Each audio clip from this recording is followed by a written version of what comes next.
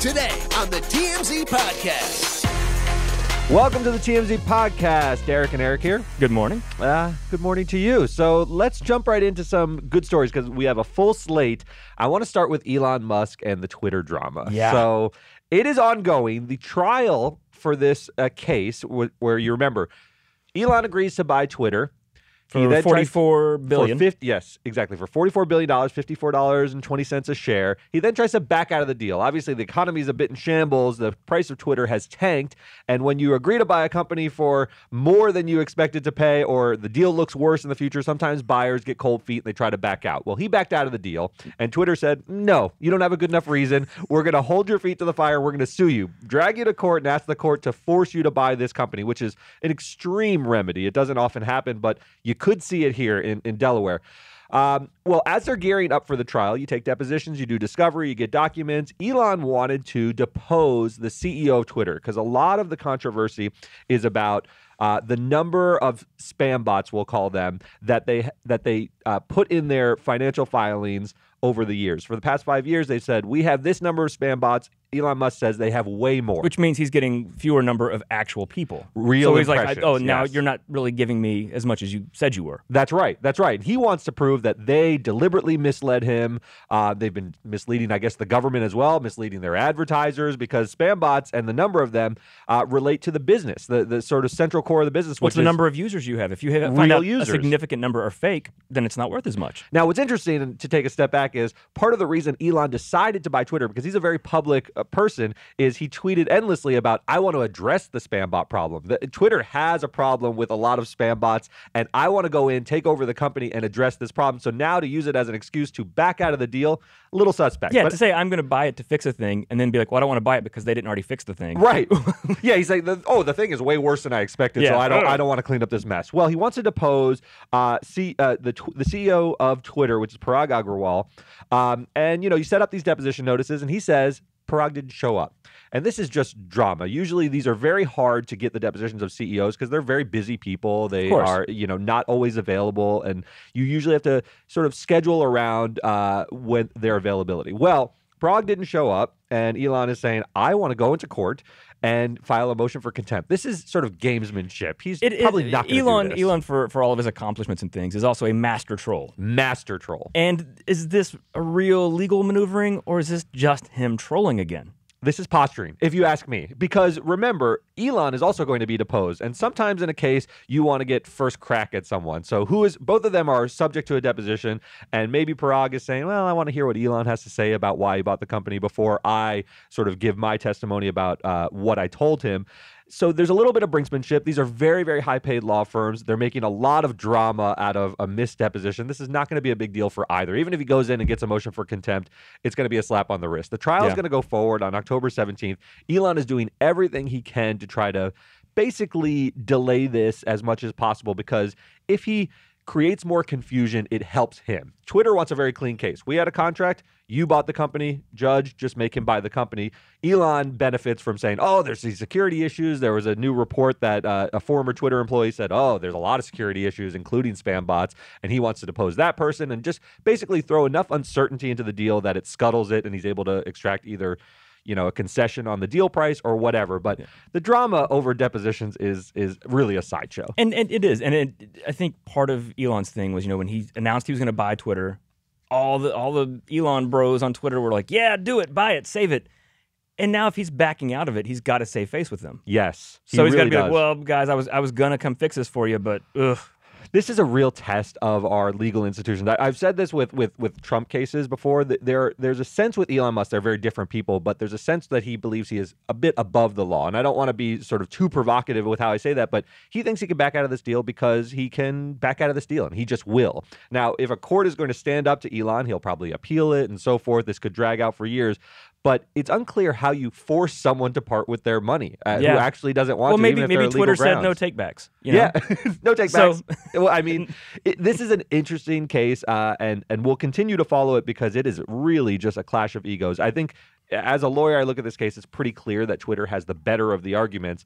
Yet, I'm not confident that Elon won't be able to find some way to wriggle out of it. And, Yeah. and he's, you know, he's he's proven himself before, so uh, I wouldn't count him out yet.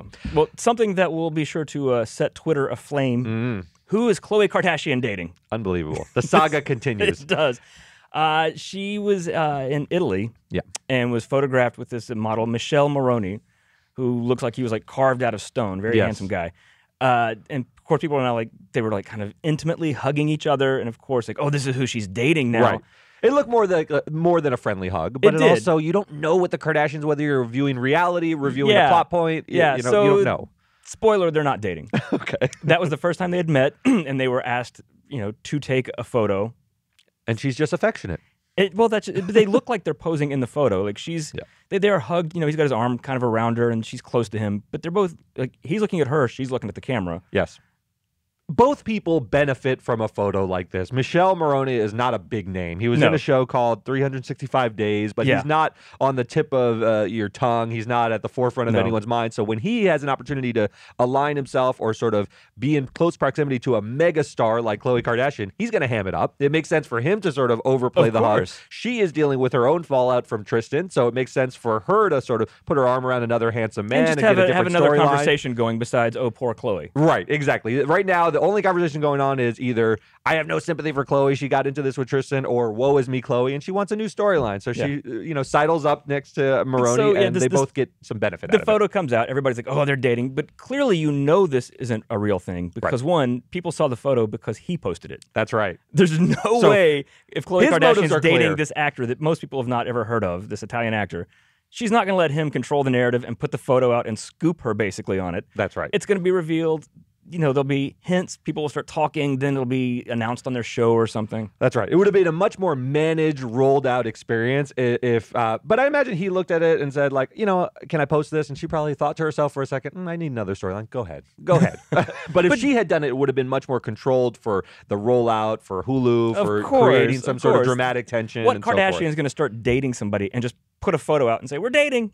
It doesn't work like that. Is there uh, fatigue on your part with the Kardashians? Yeah. I am starting to experience it. Now, I, I respect them and their ability to carry the public's interest for more than a decade now. Yeah, right? 15 Uh, years. 15 years we have been interested in this rather ordinary family. I, I only say ordinary in terms of their, you know, identifiable talents. Their talent is reality television and is sort of generating interest on their personal lives for, for whatever Well, that it's, is. It's also reality. because you know it's like people say they, they've gotten they're tired of Hollywood like you know doing remakes and reboots and sequels. Well, that's what the Kardashians are at this point. Oh, Tristan cheated on Khloe. Been there, done that. I, it feels like we're on season We're- 50 we're of General Hospital. Kim and Ray J again and, and the sex tape and Kanye. It's like we've it's heard circled all back. Of this. Yeah. It's circled back so to the origin maybe it's a, a lull period until the, the kids get a little bit older. I think so. I think so because the kids are like, you know, very sort of charismatic and interesting, but they're still too little to carry a show. But when they're teenagers, I think you will see the next generation and you'll see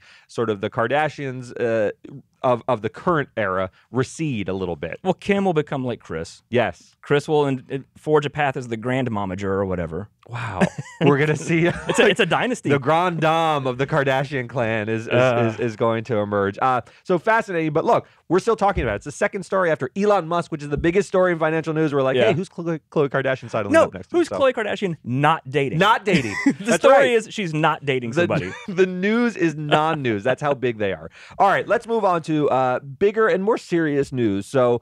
Roger Stone, he is the Richard Nixon acolyte. He was one of the dirty tricksters of the 70s era with, you know, associated with Watergate and so forth. He has a large Nixon tattoo on his back. we near can't trust shoulder anybody that loves Nixon that much. loves him deeply and loves him for the all of the wrong reasons. I am also a Nixon fan, but I don't celebrate these elements of Nixon's personality. He's sort the of a, paranoia and the cheating. it's gross. It's gross. It's a perversion of all of Nixon's to, to the extent you think he's had had ideals, the the better angels of Nixon. He he sort of Yeah. leans into the worst elements of Richard Nixon, and they become this sort of grotesque uh, monstrosity in Roger Stone. And Roger Stone then becomes embroiled with Donald Trump yes, of course. because course. it's a lot of the same things he liked about Nixon. Yes, a lot of the same things. So there's video that is now surfaced um, of Roger Stone the day before the 2020 election, when there was all the controversy, and before January 6th, uh, where he is. I think in a car. You don't see him. Did you watch the video? He's you hear his voice and he says, you know, fuck the voting, let's get right to the violence. If you see anyone from Antifa, shoot to kill. the voting. Let's get right to the violence. Let's get right to it. Shoot to kill. See a, see an Antifa? Shoot to kill. Yeah, Welcome. Done with this bullshit. Sort of agitating. Now, Roger Stone always defends himself by saying, Yeah, I'm a provocateur. I say a lot of stuff I don't mean. And Yeah. that's how he sort of maintains a comfortable remove from whatever vicious things come out of his mouth. He says, Look, I, that's that's rhetoric. Rhetoric is and, not and he violence. says this this is part of a, a documentary that's coming out, and he's like, "Oh, this has been heavily edited," basically Yes. saying fake news. He's basically calling it fake news. Now, what is more telling is this is the more provocative thing he says, where he says, let's get to the violence. Everyone is going to seize on that. But there is another part where he's talking to two guys and he's in a sort of calmer moment. And he says, uh, look, the election results, I believe, this is before the election happens in 2020, he says, I believe they'll be up in the air. And he says, to the extent they're up in the air, we should declare victory early, even if it's not true. Now, this is the core of his political philosophy Yeah. and where sort of a lot of people believe the Republican Party is. He says, look, possession is nine tenths of the law, which it's not, but everyone hangs on to that canard. And he says, what, what he means by that is it doesn't matter. The results don't matter. Uh, as long as we profess that, that we've won, we can call the rest fraud. I really do suspect that it will still be up in the air. But when that happens, the key thing to do is to claim victory. Possession is nine tenths of the law. No, we won. F- you. Sorry, over. We won. You're wrong. F- you. This is the dangerous stuff about Roger Stone. I don't think Well, the and this let's is what we Antifa saw. is that Remember, dangerous. you know, the election in 2020 took days before Biden was declared the winner because Yes. it was so close in so many places, and Trump was already declaring victory. And we we saw we know that was the playbook, and it played out, and then it led to January 6th. Yes. Like, and we're still dealing with it um, two years later. this is the profoundly anti-democratic sort of sentiment that Roger Stone that we should be worried about with respect to Roger Stone. If he's able to sort of gain uh, sort of power, and he has some degree Mm-hmm. of power, he's a little bit of a clown in, in all senses, but you well, know, he was going to be in prison, but yeah, Then Trump but he still has pardoned the ear of important people in the Republican Party, and moving in this direction is just dangerous. Like the other stuff seems, you know, ridiculous and politically motivated and awful in its own way. Violence, obviously, I'm not sort of condoning anyway, but I don't think anyone takes Roger Stone seriously when he says he's going to shoot Antifa. He he he didn't do that, and he probably didn't even mean it. He does mean this. I think he does mean like we can grab power if we just say we won, regardless yeah, of we'll, the outcome. we'll win by votes, and if we don't, then we'll just say we won anyway, and then we'll set up the system so that that can happen. Yeah, so the clip is going to be part of sort of the House Select Committee, which is investigating the January 6th uh, hearing, you know, the January 6th insurrection. I don't know. I want I want to tread carefully here. My worry is that when the House looks at Roger Stone, he's such a slippery figure that he is able to twist things into his benefit for his constituency. When they look at this, he's going to look over his shoulder, essentially metaphorically, and say like, "They're so ridiculous. They see this as all serious, and, and I'm not a serious guy. I'm just Yeah. sort of a provocateur." And it makes the Democrats look like hand wringing, cl- uh, pearl clutching party, Yeah. and that's what I worry about. This is actually serious, but they're going to and the- frame it as you guys are you guys are reading too much into it. You take and, Trump and, too and- seriously. and that's the thing. And to say, you know, that, okay, well, Roger Stone's Roger Stone. He is Yeah. who he is and always has been. But nobody in the Republican Party will denounce this, Nobody will. That's right. Because- and that's telling. and that's that's bad. that sentiment, especially. I don't. gonna- I don't want to see. This is again not a partisan thing. No party should say, "Well, we just win whether we do or not." Right. That's how you fall into a dictatorship and democracy dies, and that's not good for anybody. Right. I don't know why. So how do people you are not deal with denying- someone who says like, ah, "Don't take me that seriously when I say ridiculous things"? I'm you take just- him I'm just- seriously. I'm just blowing. You don't let him. You don't let air. him dismiss when you, when someone has. You know, it's not just like a one-off comment, Right. Here or there. Like you said, this is this guy's entire Political career- philosophy. It's his whole career for decades. Yeah. and we see people with power siding with him. Yes. You have you have to denounce it. you have to take it seriously. I think you're right. I mean, as much as the blowback will be like, look at how ridiculous the Democrats are. They're hypocrites. They do the same thing on their side. That, that is going to be sort of the defense mechanism that you see rolled out by Roger Stone because he's done it countless times. He, I mean, he's this is not the first time he's been attacked for the things he's said or the things he professes to believe on on talk shows and whatnot. Um, but I think this could be a little bit stickier because it seems like a more private moment. It is awful on its face to sort of say like it doesn't matter what the results of a democratic election Yeah. are. He's not even saying that there is fraud. He's saying it doesn't matter because I will say there's fraud. That's what's problematic. And then even if the other line is jokey, then to say, well, we can back that up with violence. You know, we're seeing all the things going on in Iran right now, and and I've seen trending pictures of what it was like in the 70s. yeah, And because people think, well, that could never happen here. What- It could. yeah, You know, we really You don't want to be too alarmist, but also history shows how these things happen. I agree. When you have some historical perspective, uh, us being sort of the greatest superpower is a, a precarious balance of a lot of things going on, and we could be losing our grip on that. Believing very too strongly anything's like, well, that couldn't happen here. Yeah.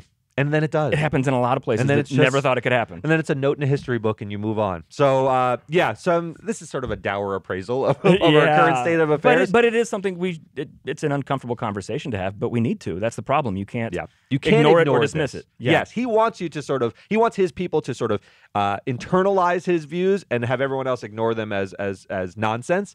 But It's a you joke really until do need to ta- take it quite seriously. Um, let's move on to something more hopeful. Yeah. Uh, so, well, hopeful for everybody but Ben Affleck. He's out of a job It's- because it's NASA does not need people to fly to asteroids and blow them up anymore. This is Armageddon. It this really is it's happened. Armageddon Except without we didn't Bruce land Willis and drill Ben into Affleck. it. Yeah. Yes. So NASA has a, a, a spacecraft that it's flown into an asteroid. They did this deliberately, crashed it into it Yes. to see if they could knock it off course. Yes. This is a, an existential threat to humanity, to, Yeah. to life on Earth. If an asteroid of a large enough size impacts the Earth at the, you know, sort of speed that asteroids move, it could be calamitous. I mean, this is what It the could- it movie's could- Deep it Impact could wipe out Armageddon are about. humanity, yeah. Yes, and we've thought about this since the late '90s, and we and watch this movies is the about kind of you know this sounds kind of ridiculous that we paid lots and lots of money to uh, what 325 million Three dollars hundred and twenty-five million to To to ram a rocket. Yes, yeah, to crash a rocket. people But- look at those numbers and must be like, "Good lord, what are we doing?" But it's to save humanity. I mean, but it this is. It's, it's, it's that sort of oh you know the ounce of prevention kind of thing. That's right. So they they took a, an then it asteroid. seems like a bargain. yeah, yeah. But so they had this asteroid that was not a threat to the Earth. Yes. But they, it was like okay, this size could be pretty horrible. if Something like this hit us. Yes. Let's see if we can do this. And they had a camera on the front of the, the, the rocket, and they flew it right into the asteroid. you can see it getting closer and closer. It's sort And of then the- static yeah. images of how close it as it And as then it the signal cuts out, It's unreal. which is where NASA messed up because they really should have sent a drone to get the shot of it hitting the I agree. Where's the production? I was thinking the same thing. I was like, oh, so the, the impact is camera go- explodes. You don't see it. You need the drone circulate Yeah, what's another hundred million dollars for a drone to? A- a- At that point, send the drone out. Yeah. Because you want to see it. In the vacuum of space, and we'll figure out how to fly the drone. Because it would seem way cooler if you could see. uh, but it is the the elation uh, of the people in the room. I mean, th- this is this is very difficult to do. I think we watched this and it seems like a fait accompli because there's a lot of numbers that have been crunched. There wasn't much doubt that they were going to be able to hit the asteroid. But remember, this is a huge accomplishment. That asteroid is traveling at I think tens of thousands of miles It's an going hour. very It's fast. going very- it the rocket's going very fast. So you have these, you know, we, we think of an asteroid or a rocket as a huge thing. But in space, they're little tiny specks. That's right. And to get one to hit the other and in space. in a, in a in a spot to redirect its course, and it hit it. It hit it. I think I, I that's looked, much more math and science than I can understand. But It said it fortunately, there are people who can. within 17 meters of the center of the asteroid. Do you know how small 17 meters is in the vastness of space to hit with that kind of Well, no, use feet because this is America. Yeah. Don't hit me with meters. I'm not trying to do metric now. so so what? 50 50 feet? Yeah, It's remarkable. It and- is remarkable that they were able to have that kind of accuracy with that kind of impact. I mean, we do SAT problems. The train is leaving from one station. Uh, you're losing you're, me. You're, You're already me. lost, you know. But this is uh That's a why they were so happy triumph. because one, the the math checked out, yes. and also they theoretically just saved humanity. That's right. So this this asteroid apparently was going to make in in October was going to make a near miss of Earth. So there weren't high stakes if they missed it because it was going to miss Earth anyway. But they can measure the. uh, you don't want to wait until it is high stakes to test it. that's right. we want to know that we can hit a moving asteroid when we see one coming. And now, like, uh, I don't worry about this. I sleep well at night that Yeah. we're not going to be impacted by a gigantic and asteroid. they, they were excited about it also because Bill Nye the Science Guy was in the control room, took a Taking- selfie. taking selfies in the control room. Perfect. Yeah, you're like, yay, we saved the Earth, and that's Bill Nye. I'm telling you. I mean, we'll have to see how much they sort of altered the trajectory, but the idea is to obviously make it miss miss impact rather than uh, hit Earth. Because imagine, you know, asteroids are small, but they're bigger than rockets, so it didn't really. It probably didn't change its trajectory all that much, but all you have to do is a fraction Just enough then to, the distance to not slam so into the Pacific. Ocean or the Atlantic or whatever. Um, I love this kind of stuff, and it was it's so good to see the triumph of nerds in a in a place because there it felt like Yeah. a, the end of a trivia tournament for me, where they're all like, "Huzzah, Excelsior!" Except, except you get like free pretzels, and they might have saved the Earth. So, this is true. Same, I, I get a round of shots, but you Uh, don't even drink. That's right. That's right. All right. I want to do one more story. We have a little bit of time, so Yeah. I'm going to jump into this because it was interesting to me. Um, the concussion doctor, who is um, what's his name, Bennet Omalu. Uh, we talked to him. That Some of our sports guys did an interview with him because over the weekend, Oh, we Tua- should say quickly his qualifications. One, the Will Smith movie Concussions based on him because he's the one who basically discovered. CTE. Yes, he studied the uh, anatomy of the brain and saw that all these plaques were developing. And he says, "Holy cow, football's a really dangerous game." And his his whole mission has been to sort of profess how dangerous it is. A- so he knows what he's talking about. He knows a lot what he's talking about. He is an expert in this field. Um, Tua Tua Tagovailoa, uh, the Dolphins' star quarterback, uh, was you know, pummeled during a game. He hit his head. You Slammed his it. head on the turf. The Dolphins subsequently said, "Ah, this was a back injury," but to the naked eye of It looks Omalu, he Well, said, "Look, you, you can head see the turf." you watch when he gets back up and is walking off the field. He He's just, dazed. He almost collapses. Yes, and and to watch this and see the player sort of taken off the field for a few plays and then come back in to play football uh, is horrifying to Bennet Omalu. I mean, he's he's not he's a very passionate speaker. He's not sort of overwrought with like tears or anything, but he's very matter of fact. And what he says is, "Look, uh, this guy suffered permanent." Brain damage. I I, I don't want to sort of sugarcoat this. He says when your brain hits against your skull, uh, it is damaged by that in a permanent sense. And he says, I thought what was interesting to hear is he says, look, if Tua uh, if Tua broke his leg on the field, he'd obviously be carted off the field. He'd have a broken femur or whatever leg bone, and he'd have to be out of the game for three months. He said the same should happen with his brain. How on earth can we pull him out of his game? Give him some smelling salts and say this guy's ready to go back? because they in. can still play with a brain injury. They can't play with a broken leg. And and now the, the Dolphins say like they didn't ask him to go back out. He wanted to do it. Yes. But also, he if he's concussed, he's not even really uh, capable of making straight. that decision. Uh, the thing I, th- I thought that uh, Dr. Malu said was so interesting. He goes, uh, he says, Your life should be worth more to you than any amount of money. Your life is worth more than $10 billion because you can't replace your life. You have on- you only have one life. I thought it was so powerful. I really do. And this is, he also sort of uh, expressed sentiments that make it clear that he'll never be an NFL doctor because if he sees concussions, he says, I want to keep them out for three months. I mean, that's that's what would is necessary for the inflammation to subside. The season would be very short. It'd be a very short season. He would never get a job in that way. And that, that to me is really sad. And he says, he puts a little bit of the blame on, on Tua, where he says, look, uh, yes, the doctors cleared him, but no one put a gun to his head that said he had to run out there. I, I, I think it's a little uncharitable because when you when you have a coach or a doctor saying, "Hey, you're fine, you're cleared to play," there's a there's a sort of culture of machismo to be like, "Well, then I'm going to yeah, go out there I mean, play." look at how much just people with, with like Simone Biles when she said she you know didn't want to be part of the team. Yes. for her own health.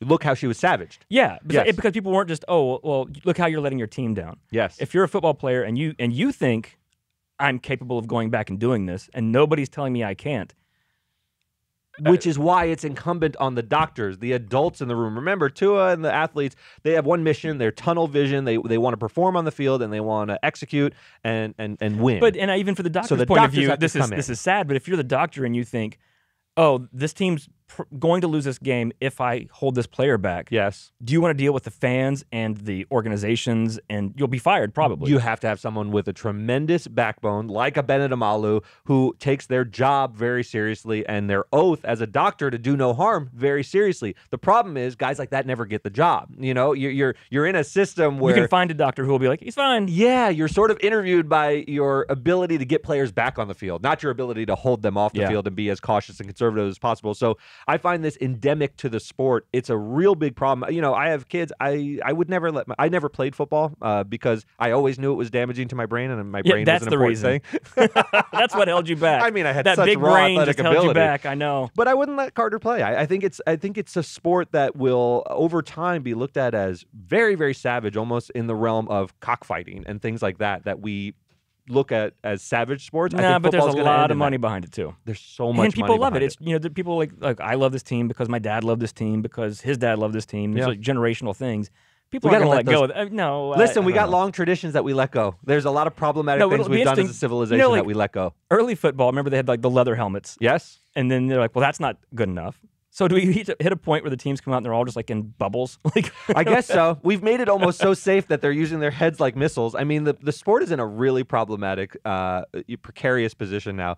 Uh, you think it'll last because it's a very proud tradition. I think it will too. I think it, we won't see in our lifetime football go the way of cockfighting and or but, anything like but that. the- but also the difference is you have to like what what they were pointing out with this case is that Tua wanted to go back. yes, If if the players are like, I want to do this regardless of the risk, and they want to do it, how do you stop them? yeah. You have to have someone say, "No, I'm not letting you go back in the game." Because if Tua wanted to limp out in the field with a broken leg, we wouldn't let him.